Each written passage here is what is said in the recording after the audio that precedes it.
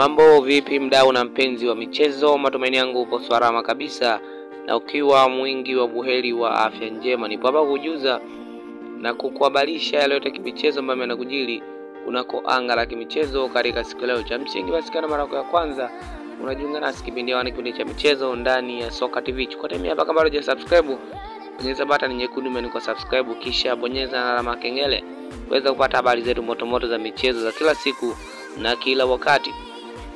E bwana, baada ya kuweza kutoka ratiba e, ya michuano ya klabu bingwa barani Afrika pamoja na michuano ya kombe la shirikisho barani Afrika, e bwana, klabu ya Young African tena kuanzia kwa e, kwa Waarabu wao. E bwana, Young African wanaanzia mechi ya ugenini e, mechi ambao wanacheza tarehe tarehe kumi na mbili e, mwezi Februari.